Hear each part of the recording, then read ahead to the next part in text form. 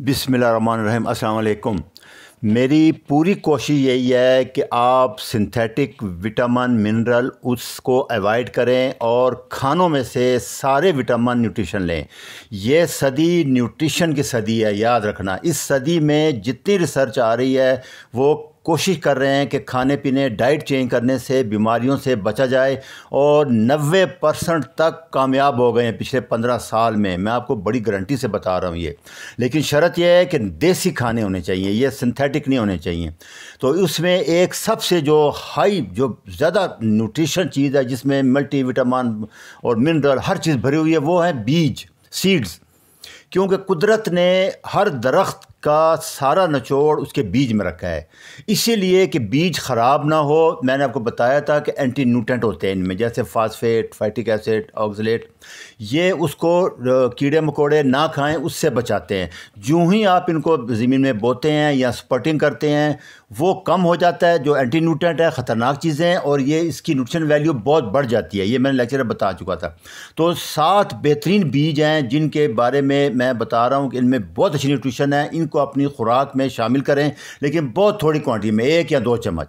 सबसे पहले chia seed है, सबको पता है इसका, इसको ये तुखे बलंगा भी कहते हैं हमारे यहाँ तो तुखे मलंगा भी कहते हैं। वो कहते हैं कि इसमें और उसमें फ़र्क है जो हमारे यहाँ तुखे मलंगा आता है, काला ब्लैक। ये, लेकिन अभी पाकिस्तान में भी फैसाबाद में भी इसकी काश्त की गई है और बड़े अच्छे रिज़ल्ट आए इसलिए थोड़ा सस्ता भी हो गया। उसके बाद पम्पकन सीड है, पेठे कद्दू का बीज ये आप जानते हैं, सारे आम हैं हमारे यहाँ। कोई मसला नहीं है, इतना शुरू से लोग खा रहे हैं। ये बेहतरीन बीज हैं। उसके बाद सनफ्लावर सूरजमुखी के बीज। ये भी बेहतरीन बीज हैं। ये मैं एंड में इनकी सारी न्यूट्रिशन वैल्यू आपको दे दूँगा। आप देख लेना सर कैसे खाने हैं मैं ये भी बता दूँगा आपको। तो उसके बाद जो है, वो है सीसेम सीड तिल जो आते हैं, ये भी हमारे यहाँ सदियों से खाए जा रहे हैं। सब लोगों को पता है, बेहतरीन है। फिर पोपी सीड खशखाश। इसके भी बारे में यही है एक खशखाश ऐसा है जिसमें कि ऑक्सलेट जो एंटी न्यूट्रेंट है, सबसे ज़्यादा है। इसलिए इसको ज़रूर आठ दस घंटे भिगोना है, फिर तवे पे भूनना है, उसके बाद आपने इसका हलवा या दूध जो बनाना बनाना है। उसके बाद फ्लैक्स सीड है, अलसी के बीज हैं। इनके बारे में क्योंकि मेरा नज़रिया ये इसको अलसी भी कहते हैं लिंसीड भी कहते हैं, तिसी भी कहते हैं, विरिया भी कहते हैं। इंडिया में मुख्तु इलाकों में मुख्तु नाम है तो थोड़ा इसमें डिफरेंस भी होगा। लेकिन अक्सर ये अलसी के बीज हैं। इसके बारे में अभी लोग बहुत प्रोपगंडा कर रहे हैं, वीडियो बना रहे हैं कि ये ओमेगा थ्री का रिसोर्स है और मछली के बराबर। नहीं, ये बिल्कुल गलत है। मैं पीछे लेक्चरों में बताता आ रहा हूँ कि इसमें ए एल ए होता है अल्फ़ा ल्यूनिक एसिड ये बॉडी में कन्वर्ट होगा डी एच ए और ई पी ए में। असल omega three E P A और डी एच ए दो के फ़िश में या एनिमल फ़ूड में होते हैं। ये प्लांट फ़ूड में बिल्कुल नहीं होते। ये चिया सीड फ्लैक्स सीड में ए एल ए है, वालनट अखरोट में भी है। ये एक से दो परसेंट, ज़्यादा ज़्यादा तीन परसेंट कन्वर्ट होगा डी एच ए में। ये जहन में रखना है। ये प्योर डायरेक्ट फार्म नहीं है बेस्ट फार्म नहीं है। बेस्ट फार्म जैसे मैं बताता आ रहा हूँ आपको क्या है, जैसे ब्रेन खा लें अब कुछ भी नहीं है, इसमें ज़्यादा है। या ये लेक्चर सुन लें, इसमें मैंने बताया कि बीफ टैलो सब्ज़ी, सारा, ये उनमें आपको मिल जाएगा। ये बेहतरीन है। तो ये जहन में रखना है आपने। इसके बारे में मैं एंड पे आपको ज़रूर बताऊँगा, क्योंकि इसमें फ़ीमेल हारमोन आ रहा है, इसलिए मर्दों के लिए ख़तरनाक है। एंड पे आप देख वाटर मिलन तरबूज के बीज, ये सात बड़े बड़े बीज हैं। इसके बारे में मैं आपको बताता हूँ कि ये ज़रूर लेना है। इसका डेली जो है पच्चीस से तीस ग्राम, एक बड़ा चमचा या दो चमचे, ज़्यादा ज़्यादा।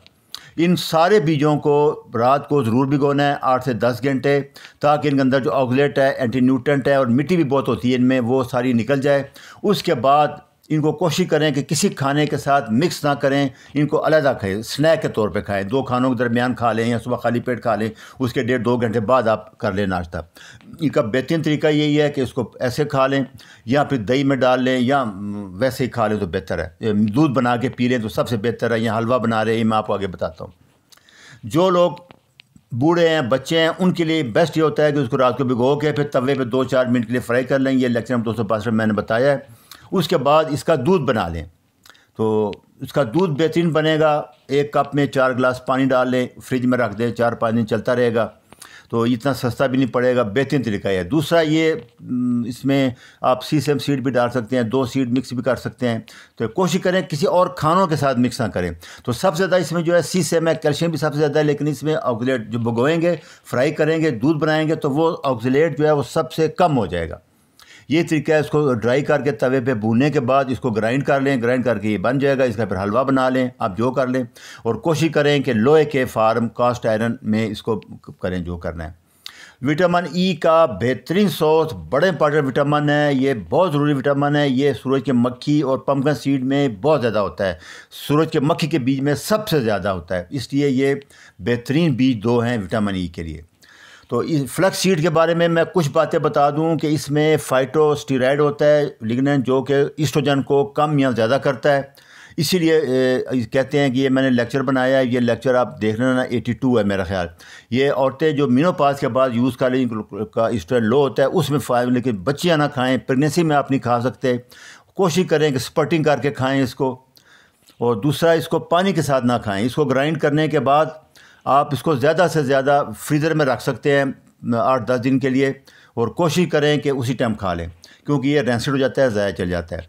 मर्द हजरात बिल्कुल ना खाएँ, क्योंकि टेस्टोस्टेरोन लो करता है, वो लेक्चर नंबर ए टू आप देख लें। और हाइपोथायराइड वाले भी बिल्कुल ना खाएँ, उसको भी थायराइड आयोडीन ऑब्जॉर्प्शन में प्रॉब्लम करता है। ये मोटी मोटी बातें हैं, इसके बारे में बहुत प्रोपगंडा हो रहा है, इसलिए मैंने स्पेशल इसके लिए बनाया है कि इसके लिए इतना ही ठीक है, एक आध चमचा और लड़कियाँ ना लें प्रेगनेंट औरतें ना लें, जवान मर्द ना लें। ये मेरी रिक्वेस्ट है।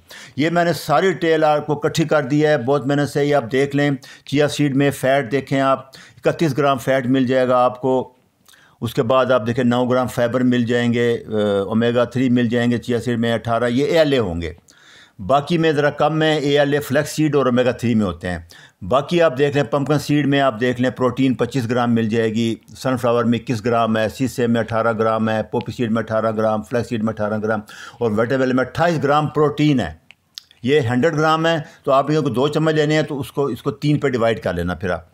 फैट देखें इसी तरह, ये सारे उसके बेहतरीन सोर्सेज हैं। फिर विटामिन देखें विटामिन के वन चिया सीड में सबसे ज़्यादा है। B one fifty two percent है। फिफ्टी टोटल रिक्वायरमेंट का डेली का ये परसेंटेज का मतलब ये है। सनफ्लावर सीड में देखें, सारी टेल है, सली से आप देख सकते हैं। ये इसमें कैल्शियम देखें आप चिया सीड में तिरसठ परसेंट डेली रिक्वायरमेंट का है। और 50 मिलीग्राम पंपन सीड में है। सबसे ज़्यादा पोपी सीड में कैल्शियम है चालीस पर जितना डेली आपको चाहिए। तो आप दो चम्मच लेंगे तो साठ सत्तर परसेंट मिल जाएगा, बाकी चीज़ों से मिल जाएगा आपको। ये मैग्नीशियम देख लें आप आयरन देख लें जिंक देख लें मैगनीज देखें, ये सारे देखें एंटीऑक्सीडेंट सबसे ज़्यादा, देखिए सीड्स में है थ्री थ्री प्लस है। एंटी न्यूट्रेंट सबसे ज़्यादा थ्री प्लस सीसम सीड में है। ए, इसमें आप देखें कॉपर देखें सेलेनियम देखें ये विटामिन ई देखें सनफ्लावर में और पम्पकन सीड में है और किसी में नहीं है बाकी।